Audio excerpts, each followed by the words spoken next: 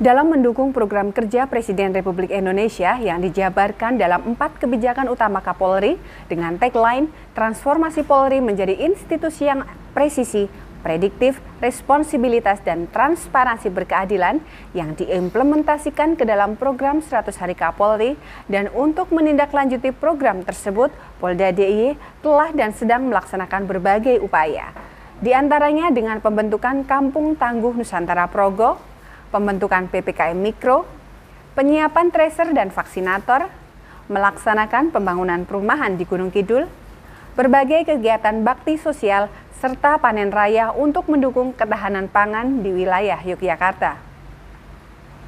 Kita beralih ke informasi selanjutnya, operasi justisi dalam rangka penegakan protokol kesehatan terus digelar Polda DIY bersama dengan instansi terkait. Pemakaian masker menjadi poin utama dalam operasi ini. Pemakaian masker dengan baik akan sangat efektif untuk memutus penyebaran COVID-19.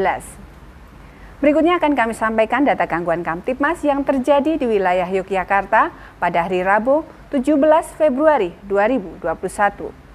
Selama satu kali 24 jam telah terjadi 8 kejadian. Satu kasus penggelapan, satu kasus pencurian, satu kasus penganiayaan, satu kasus penggelapan, satu kasus KDRT, satu kasus pengancaman, satu kasus perjudian, dan satu kasus penyalahgunaan obat-obatan. Demikian Polda Jogja News, laksanakan protokol kesehatan untuk mencegah penyebaran COVID-19. Saya Ibda Ambari Absari, terima kasih, salam Tribrata.